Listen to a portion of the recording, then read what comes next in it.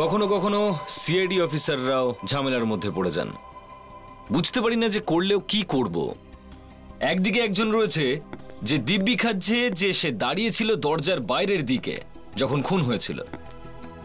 আর অন্যদিকে ডক্টর সালুখে জেদ ধরে বসে রয়েছেন। এবার ডক্টর সালুখেকে তো আপনারা চেনেননি, উনি একবার জেদ ধরলে সেটাকে কেউ না করতে পারে না। উনি বলছিলেন যে লোকটা মিথ্যে বলছে, এরকম কোনো খুন হয়নি। মানে সেই সময় হয়নি যখন এই লোকটা দরজার বাইরে দাঁড়িয়েছিল। এবার আপনিই বলুন, যে মহিলার খুন হয়েছে, ওই মহিলা এই লোকটার সাথে কথা বলছিল, যে লোকটা দরজার বাইরে দাঁড়িয়েছিল, যে সময় খুন হয়েছিল, বুঝতে পারছেন? কথা বলছিল, কথা, আর এই উত্তরও দেয়, কিন্তু বেশি কথা হওয়ার আগেই কেউ একজন ওকে খুন করে দেয়।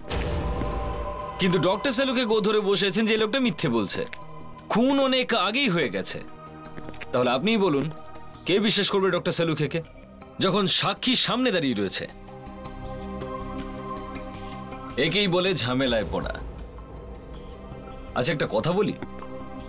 না তো এই লোকটা মিথ্যে বলছে, আর না ডক্টর সালুখে যদি ডক্টর সালুখের কথা শুনি, তাহলে খুন কয়েক ঘণ্টা আগে হয়ে গেছিল। আর এই লোকটা বলছিল যে খুনটা এক্ষুনি হয়েছে, কারণ এই লোকটা মহিলাটার সাথে কথা বলছিল। লোকটা দরজার বাইরে দাঁড়িয়েছিল যখন খুনটা হয়েছিল। আর এই লোকটা মিথ্যে বলছে না। আপনি নিজেই দেখে নিন কি হয়েছিল। এক মিনিট।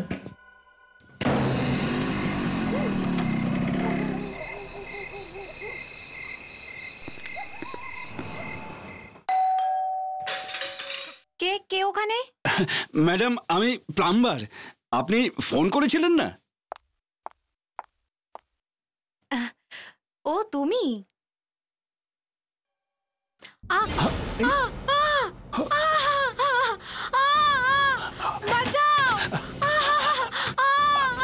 আরে কেউ আছেন কেউ আছেন এখানে কেউ আছেন কি খুন আরে কি হয়েছে কেন চেঁচাচ্ছ ম্যাডাম ভেতরে কিছু হয়েছে ম্যাডাম ভেতরে চেঁচাচ্ছিলেন চেঁচানোর আওয়াজ রিচা রিচা দরজা খোলো রিচা!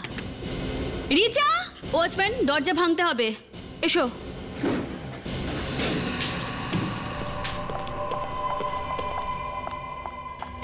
ও, নো! ওয়াচম্যান, ঘরটা দেখো ভালো করে। ও নিশ্চয়ই এখন এই ঘরে আছে। হ্যাঁ হ্যাঁ ওই লোকটা এখানেই কোথাও আছে।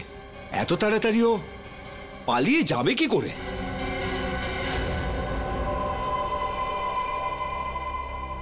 এই বেচারি তো মরে গেছে। মানে খুন?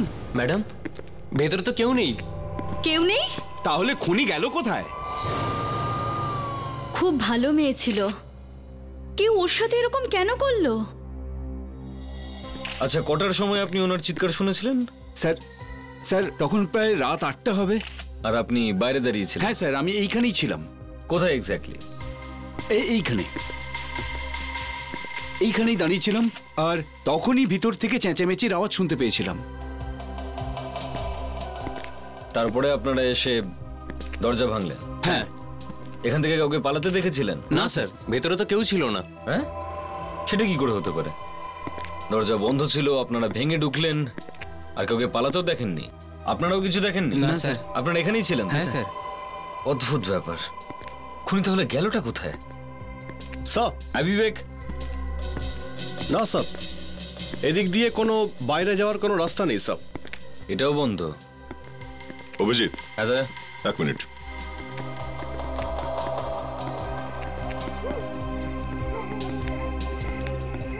বলো। এখানে এই দরজাটার পেছনে।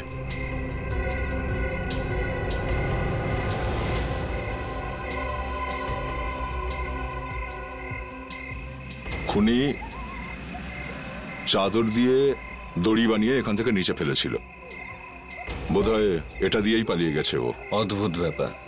লোকজন বাইরে থেকে দরজা ভাঙছিল আরও এখান থেকে পালিয়ে গেছে। স্যার হ্যাঁ রেডি ইনি ইনি অনুভব বাবু স্যার। রিচা দেবীর স্বামী। আমার বউ একজন খুবই সরল আর ভদ্র মেয়ে ছিল। কেউ ওকে এরকম নিষ্ঠুরভাবে কীভাবে মারতে পারে স্যার? দেখুন আহ, আমরা আপনার অবস্থা বুঝতে পারছি। আপনার আপনার কারোর উপর সন্দেহ আছে? কে মারতে পারে আপনার ওয়াইফকে আমার কারোর উপর কোনো সন্দেহ নেই। আরে সপ্তাহখানেক আগে তো আমরা দিল্লি থেকে এখানে শিফট হয়েছি। আমাদের সবেমাত্র বিয়ে হয়েছিল। স্যার ঘরের মধ্যে চোর এলো তারপর চুরি করল আর আমার বউকে মেরে ফেলল। চুরি হয়েছে মানে কি কি জিনিস চুরি হয়েছে বাড়ি থেকে? অনেক কিছু। আপনারা দেখতে পারেন অনেক কিছু। আই মিন আমার ল্যাপটপ আমার ডিভিডি প্লেয়ার আর তাছাড়া আমার আলমারি থেকে টাকার গয়নাও চুরি হয়েছে। যদি এমনটাই হয়ে থাকে তো রিচা নিশ্চয়ই আটকাবার চেষ্টা করেছিল চোরকে। আর তারপর চোর বিবেক একটা কাজ করো। একটু খোঁজ নাও যে এই ডুপ্লিকেট জিনিস বা পুরনো জিনিস কোথায় কেনা বেচা হয়? আর ফ্রেডি স্যার। লাস্টটা ফরেন্সিক ল্যাবে পাঠাও। ইয়েস স্যার শালুকের প্লাম্বার ঘরের বাইরে দাঁড়িয়ে ছিল যখন খুন হয়। হ্যাঁ যদি কোনো প্রতিবেশী নিচে দাঁড়িয়ে থাকতো হয়তো খুনিকে পালাতে দেখতে পেতো আর ধরা পড়ে যেত। কীভাবে? আরে কীভাবে আবার শালুকে যদিও নিচে দাঁড়িয়ে থাকতো তাহলে ও খুনিকে দেখতে পেতো নিচে নামতে। খুনি চাদর বেঁধে বেঁধে একটা দড়ি বানিয়েছিল। হয়তো সেটা দিয়ে উপরে উঠেছে আর সেটা দিয়ে নিচে নেমেছে। খুনি গাধা ছিল গাধা। আরে খুনি গাধা ছিল? হ্যাঁ। সেটা আপনি এই মেয়েটার লাশ দেখেই বুঝে ফেললেন? না না অভিজিৎ লাশের গলায় খুনির আঙ্গুলের ছাপ আছে। বা ডক্টর সেলোকে বাহ। আঙুলের ছাপ দেখে আপনি বুঝতে পারলেন যে খুনি একজন গাধা ছিল। না বালক ভাই তুমি এখনও নাবালক। আচ্ছা একটা কথা বলো। খুনির কি দরকার ছিল? চাদর ধরে নেমে জানলার বাইরে যাওয়ার? আহ। আরে সোজা দরজা দিয়ে বেরিয়ে গেল না কেন? এখনও বোকা আমার বন্ধু এখনও। বয়স হচ্ছে তো তাই ভুলে যাচ্ছে। দেখো শালুকে খুবই সোজা ব্যাপার। প্লাম্বার যেখানে দরজার বাইরে দাঁড়িয়ে আছে তখন কি খুনি দরজা খুলে ওর সামনে দিয়ে বেরিয়ে যাবে। আরে যুবক বন্ধু এক্ষুনি জানা যাবে কে যুবক আর কে বৃদ্ধ। প্লাম্বার দরজার বাইরে দাঁড়িয়েছিল রাত ঠিক আটটার সময়। ঠিক আছে। বন্ধু এই মেয়েটির মৃত্যু হয়েছে দুপুর দুটো অথবা তিনটের সময়। হোয়াট দুটো বা তিনটের সময়? আগে স্যার একটা কথা জিজ্ঞেস করব স্যার? হ্যাঁ তুমিও জিজ্ঞেস করো। স্যার যদি এই মেয়েটা দুপুর দুটো থেকে তিনটে নাগাদ মারা গিয়ে থাকে তাহলে রাত আটটার সময় বাড়ির ভেতর থেকে কে চেঁচাবে? আমি তো চেঁচাইনি। আরে আরে আমি কি করে জানব? তাহলে আর কে জানবে? অভিজিৎ মৃত্যুর প্রায় তিন বা চার ঘণ্টা পরে লাশ পচতে শুরু করে রাইট হ্যাঁ। আর প্রায় চার পাঁচ বা ছ ঘণ্টা পর্যন্ত লাশ পচতে থাকে। আর তারপর লাশ আবার পুরনো জায়গায় ফিরে আসে মানে রাইগার মটি শেষ হয়ে যায়। বস রাত্রি এগারোটার সময় যখন মেয়েটির লাশ আমার কাছে আসে এর রাইগার মটি শেষ হয়ে গেছিল। আমার চোখের সামনে এই মেয়েটির লাশ কুঁকড়ে যেতে শুরু করে। লাশ এখানে এগারোটার সময় আসে। তার ছ ঘণ্টা আগে তার মানে পাঁচটা নাগাদ। কুকড়ে যেতে শুরু হয়েছে। একদম। আরও তিন চার ঘণ্টা আগে মানে দুটো অথবা তিনটের সময় মেয়েটির মৃত্যু হয়েছে। তার মানে প্লাম্বারটা যখন দরজার বাইরে দাঁড়িয়েছিল তখন এই এই মেয়েটা মারা গেছিল। একদম ঠিক। আরে তাহলে এই প্লাম্বারটা কি মিথ্যে বলছে? প্লাম্বার কোনো মিথ্যে বলছে না। ও তো চিৎকারটা শুনেছিল ওই তো প্রতিবেশীদের ডেকেছিল আর দরজা ভাঙার পরেই তো এই লাশটা পাওয়া গেছিল। কিন্তু স্যার বাড়ির ভেতর থেকে তাহলে চেঁচালো কে? খুনি একটা মেয়েও হতে পারে। আরে খুনি ওখানে ছিলই না। আরে সেই এক কথা শালুকে প্লাম্বার ওই সময় ঘরের ভেতর থেকে কারোর চলাফেরার শব্দ শুনেছিল। তাহলে কে চলাফেরা করছিল? আরে সেটা আমি কি করে বলব ভাই? আমি শুধু এইটুকুই বলতে পারি যে এই মেয়েটির মৃত্যু দুটো অথবা তিনটের সময় হয়েছিল ব্যাস। সব কি জানতে পারলে? স্যার এরকম তিনটে মার্কেট আছে যেখানে পুরনো জিনিস কেনা আর বেচা হয় সব আচ্ছা। কি কি পাওয়া যায় ওখানে? ফ্রেডি স্যার এটা বলুন যে কি পাওয়া যায় না ওখানে। একটা পেন্সিল থেকে শুরু করে একটা হেলিকপ্টারের পার্টস অবধি সব কিছু ওখানে কেনা আর বেচা হয় সব। তাহলে অভিজিৎ হতে পারে অনুভবের বাড়ি থেকে চুরি যাওয়া জিনিস যদি আমরা ওই মার্কেটে পেয়ে যাই? গিয়ে দেখো একবার। এটাই অনুভবের ল্যাপটপ। এটা কে বিক্রি করেছিল তোমাকে? স্যার আপনি আম খান না আটি কেন গুনছেন? আমরা আটি খাইও নিজেরা। আর খাওয়াইও অন্যকে।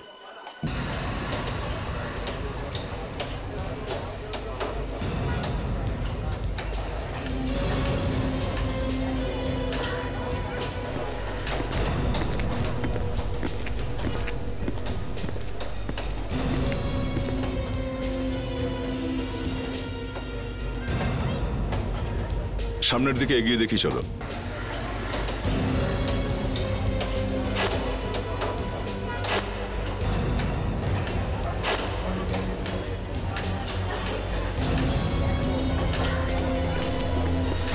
আসুন স্যার।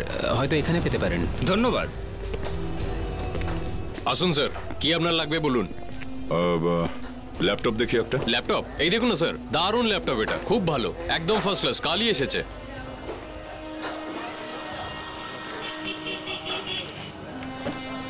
একদম ফরেনের মাল।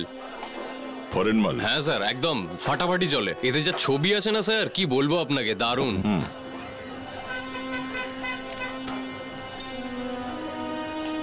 এটাই বস এটাই অনুভবের ল্যাপটপ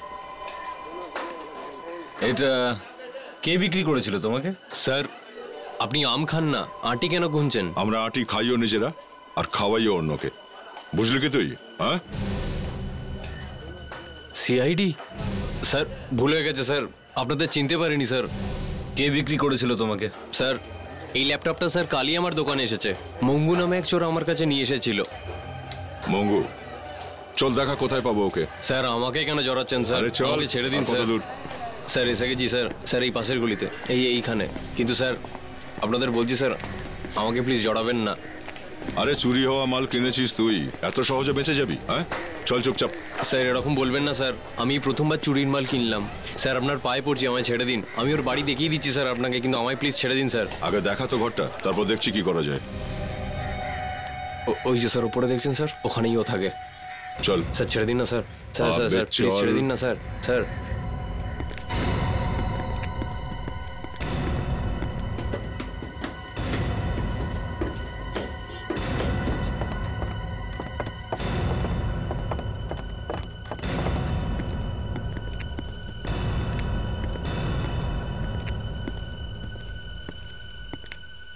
আরে ভাই এখানে কি ব্যাপার নতুন পার্টি নাকি? হুম। একদম ব্র্যান্ড নিউ পার্টি চুরির মাল কিনতে চাই। কি চাই স্যার? সব পাবেন এখানে আপনি। টিভি রেফ্রিজারেটর ডিভিডি প্লেয়ার সব পাবেন এখানে। অনুভবের বাড়ি থেকে তুই যা যা চুরি করেছিস আমাদের সবগুলোই চাই। অনুভব? এটা আবার কে? অনুভবকে চিনিস না হ্যাঁ? জুহুর একটা ফ্ল্যাটে চুরি করেছিস না তুই? চুরি? আমি করেছি চুরি? হ্যাঁ। স্যার এগুলো কষ্ট করে আনা জিনিস। দেখ ভাই নিয়ে যাই এদের। আমি জিনিস বিক্রি করব না। আরে আমরা কিনেই তবে যাব। স্যার আমি বললাম তো আমি বিক্রি করব না। আমরা যখন বলেছি কিনবো তখন তো কিনবই। বল। হ্যাঁ? হ্যাঁ স্যার। ওই ফ্ল্যাটে আমিই চুরি করেছি। আর মেয়েটা যখন তোকে দেখতে পেল তুই চুরি করছিস তখন তুই খুন করে দিলি। খুন? কার খুন? স্যার আমি স্যার আমি কারোর খুন করিনি স্যার। মেয়েটার লাশ পাওয়া গেছে ফ্ল্যাট থেকে বুঝলি? কেন মারলি ওকে? ঠিকঠাক বলে দে ওখানে কি হয়েছিল। না হলে তোর কিন্তু ফাঁসি হবে বুঝেছিস? আমি সত্যি কথা বলছি স্যার। আমি কারোর খুন করিনি স্যার। ও তো আগে থেকেই মরেছিল। কি? আগে থেকেই মরেছিল? হ্যাঁ স্যার। যখন আমি আর আমার বন্ধু জুহুতে চুরি করতে গেলাম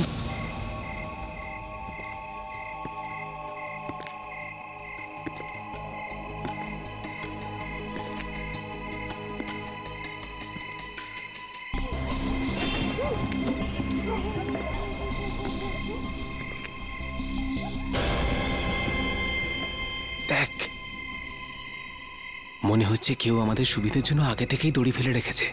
আরে মনে হয় আগে থেকেই কোনো চোর ভেতরে গেছে। না না ওপরে কেউ নেই। ওপর থেকে কেউ নিচে এসছে আর পালিয়েছে। আমি একটু দেখে আসছি।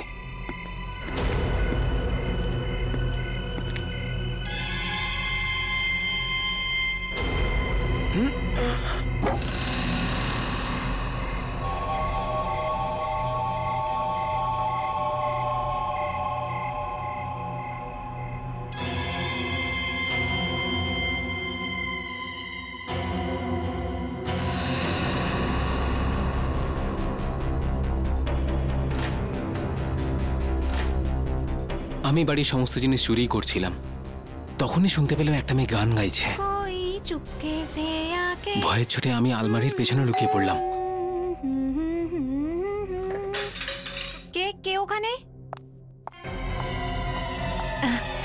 ও তুমি?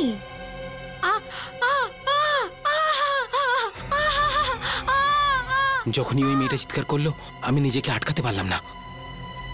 আর রুমের ভেতরে চলে গেলাম। খুনি ততক্ষণে ওখান থেকে পালিয়ে গেছিল টাকা পয়সার লোভ আমার চোখে কালো কাপড় বেঁধে দিয়েছিল। রিচা!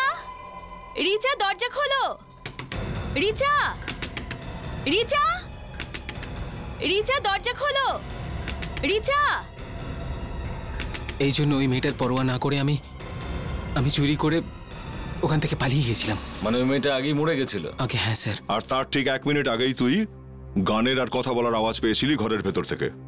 হ্যাঁ স্যার। আর তুই খুনিকে ওখানে দেখিসনি? না স্যার আমি সত্যি কথা বলছি স্যার। ওখানে কোনো খুনি ছিল না। দেখ গল্প শোনানো বন্ধ কর বুঝলি? একদিকে তুই বলছিস যে বাইরের ঘরটা থেকে তুই ওর গান করার চিৎকারের আওয়াজ শুনতে পাস আর তার উপরে তুই বলছিস যে খুনি ওখানে ছিল না? এটা কি করে হতে পারে? হ্যাঁ আমি সত্যি কথা বলছি ওখানে কেউ ছিল না স্যার। আমি তো শুধু চুরি করে ওখান থেকে পালিয়ে যাই। কটার সময় হয়েছিল সব তখন আটটা বাজে। হ্যাঁ? প্লাম্বারটাও তো ওই সময় এসেছিল না রিচার ঘরে? আর চুরির জিনিসপত্র কোথায়? স্যার ওইগুলো তো সব বিক্রি করে দিয়েছি স্যার। কয়েকটা বাকি আছে। বাকি জিনিসগুলো এখানে নিয়ে এসো। এক মিনিট দিন স্যার। আমি নিয়ে আসছি সব। স্যার এই চোরটা মিথ্যে কথা বলছে স্যার। খুনেই করেছে আর আমাদের ভরকি দেওয়ার চেষ্টা করছে। এর মধ্যে কিছু গয়না বেঁচে আছে স্যার। ল্যাপটপ আর ওইগুলো তো আমি বিক্রি করে দিয়েছি। ফ্রেডি অনুভবকে বিউরোতে রাখো। ওকে জিজ্ঞেস করতে হবে যে এই সমস্ত জিনিস ওর কিনা। এগুলো দেখো একবার। দেখো এগুলো কি সেই জিনিস কি যেগুলো চুরি গিয়েছিল? হ্যাঁ এটা আমারই।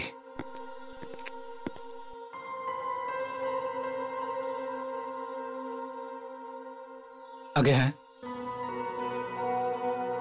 এই সব কিছু আমার ঘর থেকে চুরি হয়েছিল।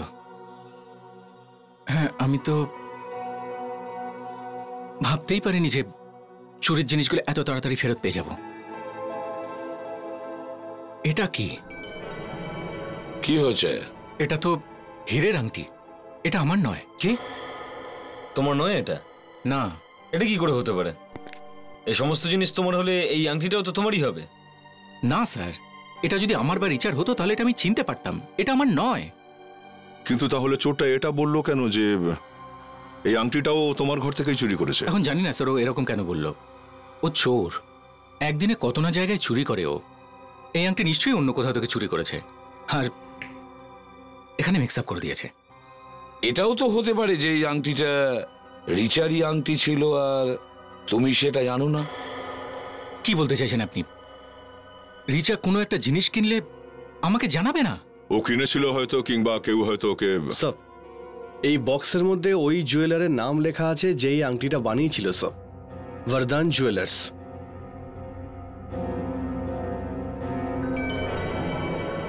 হ্যাঁ ওটাই লেখা আছে। অভিজিৎ দয়া একটা কাজ করো। এই জুয়েলারি হাউসে গিয়ে জিজ্ঞাসা করো যে ওনারা এই আংটিটা কার জন্য বানিয়েছিলেন?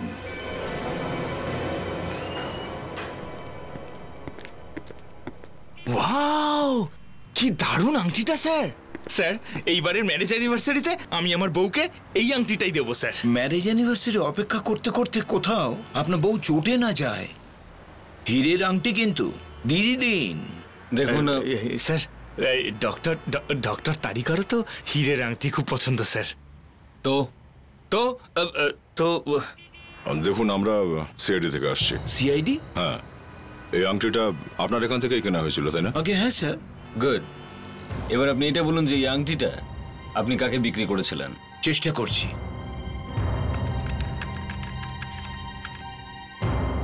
পেয়ে গেছি স্যার কোনো কৌশিক নামের লোক এই আংটিটা কিনেছে। কৌশিক? গ্রেট আপনি একবার অ্যাড্রেস দিনের যদি এই আংটিটা সত্যি কৌশিকের হয় তাহলে এটা রিচার বাড়িতে পৌঁছালো কি করে? কোনো সম্পর্ক আছে কি তাহলে এই কৌশিক আর রিচার মধ্যে? হুম? এবার দেখা যাক এই কৌশিক কি বলে।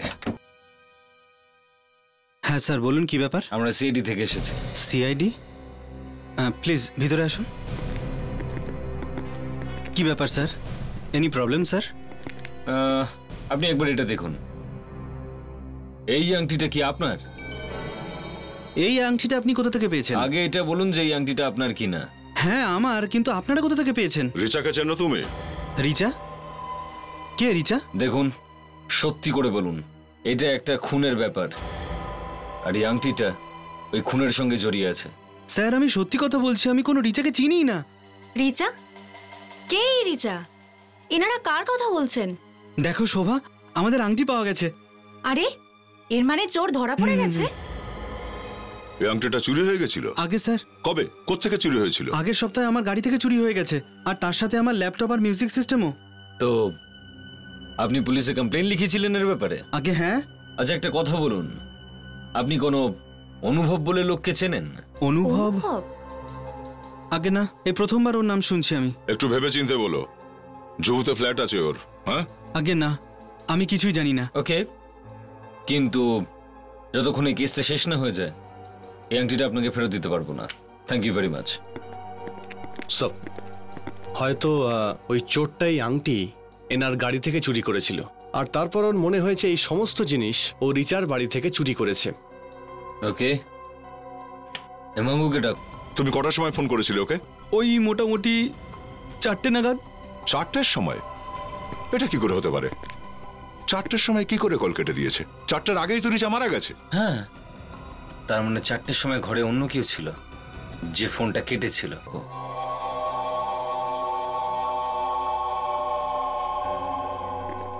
মঙ্গু ভালো করে দেখ এই আংটিটা। এই আংটিটা তুই রিচার বাড়ি থেকে চুরি করেছিলিস? আগে হ্যাঁ স্যার আমার ভালো করে মনে আছে। গত সপ্তাহে তুই কতবার চুরি করেছিস? তিনবার। তুই কোনো গাড়িতে চুরি করেছিলি? গাড়ি থেকে? হ্যাঁ। গাড়ির এসি মিউজিক সিস্টেম এই আংটিটা ওই গাড়ি থেকেই চুরি করা হয়েছিল। না স্যার। আমি এসব ছোটখাটো চুরি করি না আমি তো বড় হাত মারি সবসময় এই তুই কি আমাদের গল্প শোনাচ্ছিস? হ্যাঁ? এই হীরের আংটিটা কৌশিক নামে এক ভদ্রলোকের গাড়ি থেকে চুরি হয়েছে। ওই ফ্ল্যাট থেকে হয়নি বুঝেছিস? মহাকালীর দিব্যি স্যার। স্যার আমাদের মেমরি খুব পরিষ্কার হয়। আংটি তো আমি ওই ফ্ল্যাট থেকেই চুরি করেছি। স্যার। মনে হচ্ছে কৌশিক আর এই মঙ্গু দুজনেই মিথ্যা কথা বলছে। বা হয়তো দুজনেই জড়িত সব। আচ্ছা একটা কথা বল। এই লোকটাকে তুই চিনিস? কে এটা স্যার? এ হলো কৌশিক। হীরের আংটিটা এই কিনেছিল। আর চুরিটা এর গাড়ি থেকেই হয়েছে বুঝলি?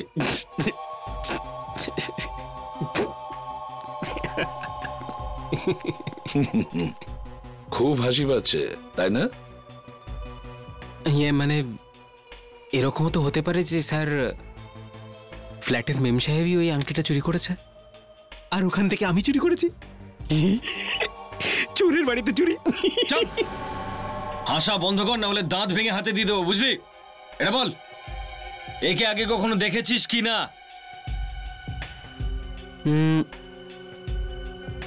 স্যার একে তো চেনা চেনাই লাগছে। চেনা চেনা লাগছে না? হ্যাঁ। কোথায় দেখেছিলিস একে আগে? হ্যাঁ স্যার মনে পড়েছে। সেদিন এ ওই বিল্ডিং এই ঘোরাফেরা করছিল। মানে কৌশিক রিচার বিল্ডিং এর চারপাশে ঘোরাফেরা করছিল? হ্যাঁ স্যার ও একটু চিন্তিতও ছিল। হ্যাঁ। হাসাচ্ছিস না তো একে? স্যার ওকে ফাঁসিয়ে আমার কি লাভ স্যার? স্যার যেটা সত্যি ছিল সেটা আমি বলে দিলাম। অভিজিৎ তার মানে হলো কৌশিক আমাদের মিথ্যে বলেছে। ও নিশ্চয়ই অনুভব আর রিচাকে চেনে। একবার কৌশিকের সঙ্গে দেখা করতে হবে। জানি না আর কি কি গোপন কথা ওর পেটের মধ্যে চেপে বসে আছে। আরে এ তো ভারী অদ্ভুত ব্যাপার স্যার। একে তো আমার গাড়ি থেকে চুরি হয়েছে তার উপরে লোকসান আমার হয়েছে আর আপনি আমাকে ধরছেন স্যার। কোনো ব্যাপার নেই আপনি একবার এটা পড়ে নিন তাহলে মনে পড়ে যাবে। এটা কি স্যার? কুণ্ডলি আপনার। আমার কুণ্ডলি স্যার? হ্যাঁ। এতে লেখা আছে যে আপনি রিচাকে অনেক আগে থেকেই চেনেন। ওই রিচা? তোমার মুখটা হঠাৎ এরকম হাঁ হয়ে গেল কেন? হ্যাঁ? তুমি আর রিচা দিল্লিতে একই কোম্পানিতে কাজ করতে তাই না? তিন বছর ধরে একসাথে কি? আচ্ছা আচ্ছা আচ্ছা, আচ্ছা আপনি ওই রিচার কথা বলছিলেন। আমরা ওই রিচারই কথা বলছি। অ্যাকচুয়ালি ওর কথা মাথা থেকে বেরিয়ে গেছিল। কবে থেকে চলছিল তোমার এই প্রেমের চক্কর রিচার সঙ্গে? হ্যাঁ? স্যার এটা আপনি কি বলছেন স্যার? বউ শুনে নেবে স্যার। হ্যাঁ? বউ। আরে দয়া এত সাধু পুরুষ তুমি আগে কখনো দেখেছ নাকি? না। আরে আপনারা? ওই চোরকে ধরে ফেলেছেন? চোর তো নয় কিন্তু আপনার হাজবেন্ডের চুরিটা ধরা পড়ে গেছে। কি? এনারা কি বলছেন কৌশিক? কিছু না। আচ্ছা। যদি এতটাই সৎ হয়ে থাকো তাহলে যেদিন রিচা খুন হয়েছিল সেদিন ওর বিল্ডিং এর চারপাশে তুমি কেন ঘোরাঘুরি করছিলে হ্যাঁ? কি স্যার আমি ঘোরাঘুরি করছিলাম তাও ওই রিচার বাড়ির আশেপাশে। এটা আপনাকে আপনাকে কে বলেছে স্যার? বিবেক সব। একটু নিয়ে এসো ওকে। এই কাকে নিয়ে আসছেন আপনারা? এখনই জানতে পেরে যাবে বাচ্চা। ভয়ের কি আছে? কৌশিক কথাটা যদি সত্যি হয় না তোমায় কিন্তু আমি ছাড়বো না। এ কি সেই লোকটা যে ওই দিন বিল্ডিং এর চারপাশে ঘুরঘুর করছিল? হ্যাঁ? আগে হ্যাঁ স্যার। একেই দেখেছিলাম আমি সেদিন। এই সেই লোক। কি? আরে এই লোকটা কি সব বলছে? আরে শোভা একে তো আমি চিনি না। স্যার এই লোকটাই ছিল। আরে এই ছিল। আরে স্যার এটা তো আমি জানি না রিচার বাড়ি কোথায় আছে? এই চুপ। যে সময় রিচার খুন হয়েছিল সেই সময় তুমি কোথায় ছিলে? অফিসে ছিলাম অফিস না না না না না না। অফিসে ছিলে না তুমি? আমরা খোঁজ নিয়েছি। তুমি দুপুর বেলাতে সেই সময় গায়েব হয়ে গেছিলে যে সময় রিচের খুন হয়েছিল। কোথায় ছিলে তুমি? আমি কিছু জানি না। কোথায় ছিলে তুমি হ্যাঁ? বললাম তো জানি না। এটা সত্যি স্যার। আমি রিচাকে ভালোবাসতাম। আমরা অনেক দিন ধরে একে অপরকে ভালোবাসতাম স্যার। কিন্তু ওর বাড়ির লোকেরা ওর বিয়ে অনুভবের সাথে দিয়ে দিয়েছিল। তোমার লজ্জা হওয়া উচিত। কিন্তু রিচার খুন কেন করলে তুমি? হ্যাঁ? না স্যার। আমি তোকে ভালোবাসতাম। কেন ওকে মারতে যাব আমি? তাহলে ওখানে করতে কি গেছিলে তুমি? স্যার আমি ওই দিন কমপক্ষে কুড়িবার ফোন করেছি রিচাকে। ও প্রথমবার ফোন ধরলো তারপর কেটে দিল। তারপরে আর ফোনই ধরলো না। কে? প্রথমবারে কল কেটে দিয়েছিল? তুমি কটার সময় ফোন করেছিলে ওকে? ওই মোটামুটি চারটে নাগাদ। চারটের সময়? এটা কি করে হতে পারে? চারটের সময় কি করে কল কেটে দিয়েছে? চারটের আগেই তো রিচা মারা গেছে। হ্যাঁ তার মানে চারটের সময় ঘরে অন্য কেউ ছিল? যে ফোনটা কেটেছিল? মঙ্গ ফোনটা কোথায় যেটা তুই বাড়ি থেকে চুরি করেছিস হ্যাঁ? স্যার ফোনটা তো আমি বিক্রি করে দিয়েছি। কি? ফোন বেচে দিয়েছিস? কাকে? স্যার মনে নেই আমার। হঠাৎ দেখা হয়েছিল বিক্রি করে দিয়েছি ওকে আমি। ওই লোকটাকে চিনিস? ওকে না স্যার। অভিজিৎ যদি এখনও মোবাইলটা চালু থেকে থাকে তাহলে কোম্পানি থেকে জানা যাবে যে ওই ফোনটা এখন কোথায় আছে। হ্যাঁ। ও সিআইডি থেকে? তাহলে নিশ্চয়ই কোনো মার্ডারের ব্যাপার আছে? বেশ বুদ্ধি আছে দেখছি আপনার। হ্যাঁ একটা খুন হয়েছে। তো এবার কার সিম কার্ড খুঁজতে হবে? এবার আমাদের কাছে শুধুই মোবাইল নাম্বারটা আছে। আর আমাদের যে কোনো উপায়ে খুঁজতে হবে যে এখন ওই মোবাইলটা কোথায় আছে। যদি নাম্বার থাকে খুঁজতে অসুবিধা হবে না। না না ব্যাপারটা হচ্ছে এখন যার কাছে মোবাইলটা রয়েছে সে পুরনো সিম কার্ডটা ফেলে দিয়েছে আর নতুন সিম কার্ড লাগিয়েছে। কোনো ব্যাপার নয় স্যার। যদি ওই ভদ্রলোক এখনও ওই মোবাইল ফোন ইউজ করেন তাহলে সহজেই ওকে খুঁজে বার করতে পারি। আচ্ছা কি করে? আপনি আমাকে ওই নাম্বারটা দিন। নাম্বারটা ফিট করো। One seven zero nine eight seven six nine two five. আচ্ছা এই সিম কার্ডটা কিন্তু চালু নেই। ফেলে দিয়েছে ওটা। স্যার এটা তো আমরা দেখতে পারি যে এই ফোনে কোথার থেকে ফোন এসেছিল বা শেষবার কাকে ফোন করা হয়েছিল। দেখাও তো।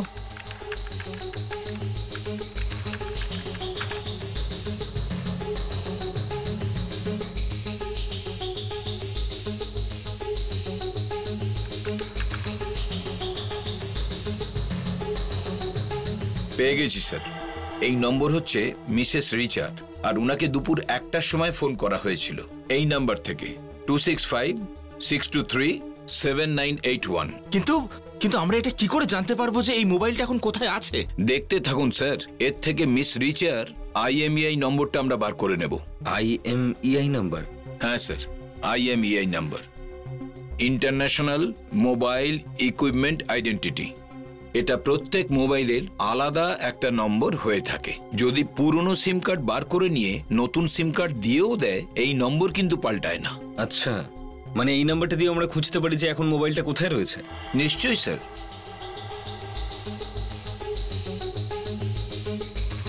এই নিন মিস রিচার আইএমইআই নাম্বার। এটা সব মোবাইল কোম্পানির নেটওয়ার্কগুলোকে দিয়ে দিন। এটা ওরা গ্রে লিস্টে দিয়ে দেবে।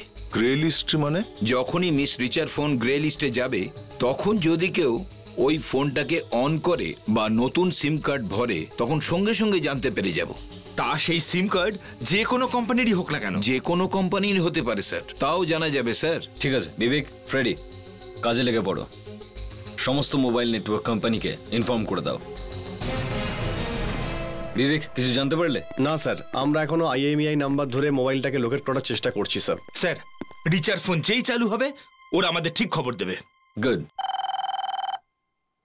মনে হচ্ছে মোবাইল কোম্পানি থেকে ফোন এসেছে। Inspector Daya here. কি? শ্যামকুমার কোথা থাকে? খবর পাকা তো?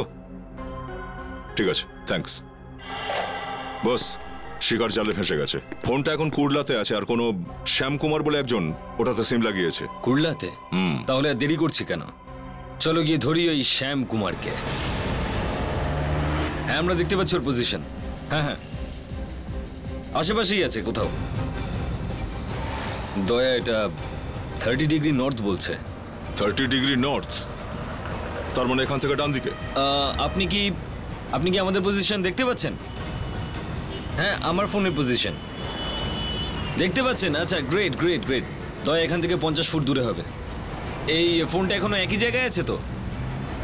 একই জায়গাতে আছে? ওকে। ফিফটি ফোরটি এক মিনিট, আমি আপনাকে পরে ফোন করছি, মনে হচ্ছে আমরা পৌঁছে গেছি।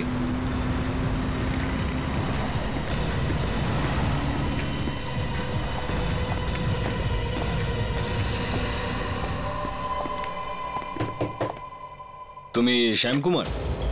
হ্যাঁ আমি শ্যামকুমার বলুন। এই এই এতগুলো মোবাইল ফোন এখানে কোথ দিয়ে এলো? এতগুলো ফোন? দেখুন আমি ডিলার। মোবাইল বিক্রি করা আমার ধান্দা। হুম। এই মোবাইলটা দেখে তো নতুন মনে হচ্ছে না। নতুনই সব ওই একটু ধুলো লেগে আছে। দেখো চুরি করা জিনিস কেনা একটা অপরাধ জানো তো? চু- চুরির জিনিস? কি বলছেন আপনি? এই সব ফোনগুলো চুরি করা তাই না? আরে দাদা আপনি তো আমার পিছনে পড়ে গেলেন। বললাম না সবগুলোই নতুন। চপ। বস এখানে বস। রেডি দেখো এর মধ্যে রিচার মোবাইল কোনটা। স্যার আমরা ওই ফোন থেকে এটা পেয়েছি স্যার। এটা একটা মাল্টিমিডিয়া কার্ড স্যার। দেখাও। এর মধ্যে স্যার সমস্ত মেসেজ গান আর ডায়লগ সব কিছু আগে থেকে রেকর্ড করে রাখা হয়েছিল স্যার। আচ্ছা প্লে করে দেখি এটা। ইয়েস স্যার এক্ষুনি হয়ে যাবে।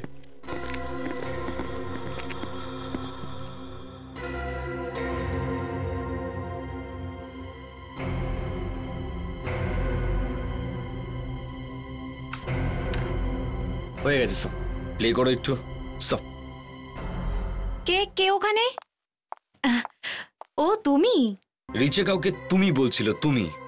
তার মানে খুনি এমন কোন লোক যাকে রিচা খুব ভালো করে চিনত। হ্যাঁ। আর অভিজিৎ যখন ও রিচাকে খুন করছিল তখন ও একই সঙ্গে রেকর্ডিংও করছিল। আর যখন প্লাম্বার বাড়ির সামনে এলো তখন ও নিজের ফোন থেকে রিচাকে ফোন করল। তখনই রেকর্ডিংটা বাজতে শুরু করে। ফোন রিংটোনের বদলে এই রেকর্ডিংটা দিয়েছে। হ্যাঁ ফ্রেডি এখন তো যে কোনো গানকে তুমি তোমার রিংটোন বানাতে পারো। আর বেচারা প্লাম্বারটা ভাবলো যে ভেতরে খুন হচ্ছে। হুম? বিবেক একটু আরেকবার চালাও তো এটাকে আস্তে আস্তে। ইয়েস স্যার কে কে ওখানে? ও তুমি? এটা তো কোনো মোবাইল ফোন না হয় ল্যাপটপ। আর নয়তো কোনো ঘড়ির আওয়াজ মনে হয়। ঘড়ির শব্দ হ্যাঁ স্যার। এটা ঘড়ির অ্যালার্মের শব্দ স্যার। আর আমি এই শব্দটা শুনেছি স্যার। স্যার তার মানে এই ঘড়িটা অনুভবের ছিল। হ্যাঁ ফ্রেডি। এই অনুভবই মেরেছে নিজের স্ত্রীকে।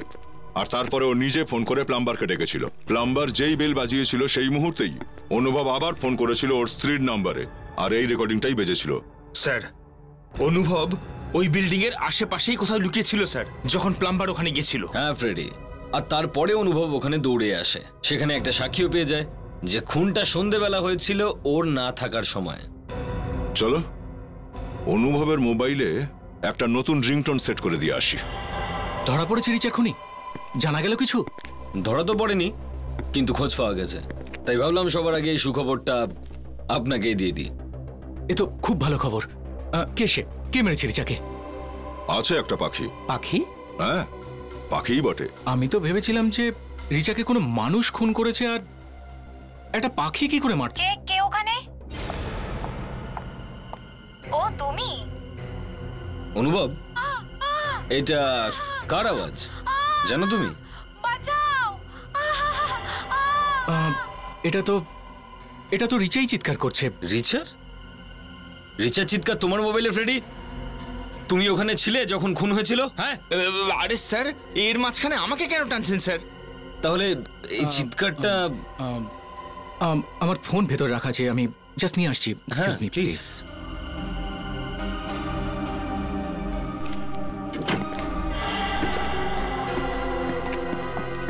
অনুভব?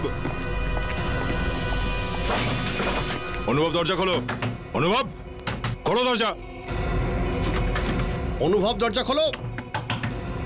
সব দরজা ভেতর থেকে বন্ধ করে দিয়েছে। দরজা কি ভেঙে ফেলব? না। মনে হচ্ছে এত সময় নেই আমাদের। চলো।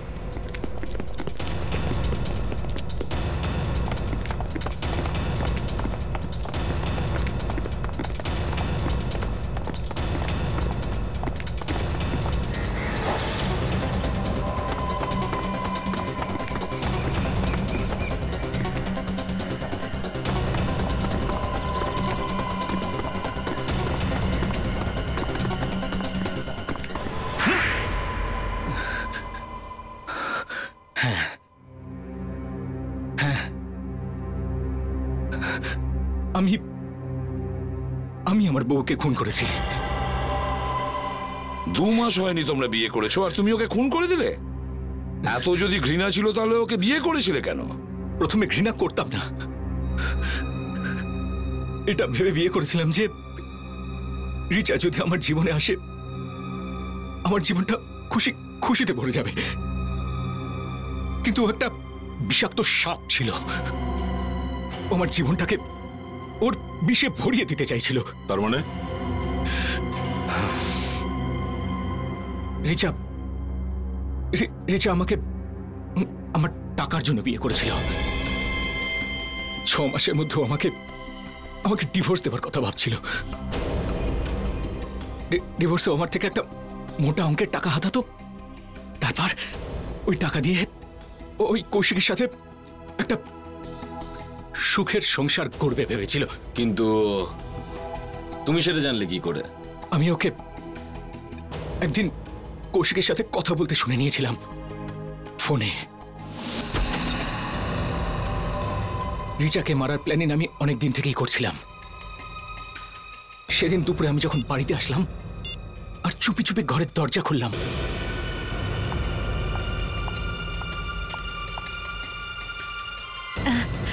ও তুমি। ওকে মেরে ফেলার পর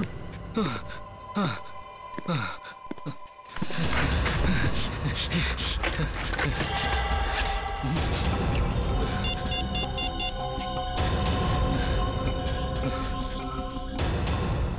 আমার মিডিয়া কার্ড ওর ফোনে লাগিয়ে দিয়েছিলাম। আর পুরো রেকর্ডিংটা ওর রিংটোন বানিয়ে দিয়েছিলাম। আর আমি দড়িটাকে ব্যালকনির সাথে বেঁধে দিয়েছিলাম। আর জুয়েলারিগুলো এমনভাবে বাইরে ফেললাম যাতে মনে হয় যে চোরে এই সমস্ত করেছে।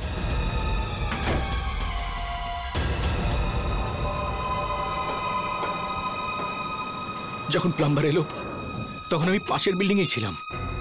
আর ঠিক তখনই আমি রিচার নাম্বার ডায়াল করলাম। তুমি ভেবেছিলে যে লোকজন ভাববে যে বাড়িতে চুরি হয়েছে? চোর মেরে দিয়েছে তোমার বউকে হ্যাঁ? হ্যাঁ দেখো ব্যাচেলার ভাগ্যটাই খারাপ। ওই দিন ওই সময়ে ওখানে একটা চোর এর বাড়ির ভেতরে ঢুকে পড়ে। তুমি কি মনে করেছিলে? খুন করে আমাদের হাত থেকে বেঁচে যাবে হ্যাঁ? তুমি অনেক ভেবে চিনতে প্ল্যান করে খুনটা করেছ। এবার তো তোমার ফাঁসিই হবে For more updates, subscribe to our channel, click the show links and enjoy watching the videos.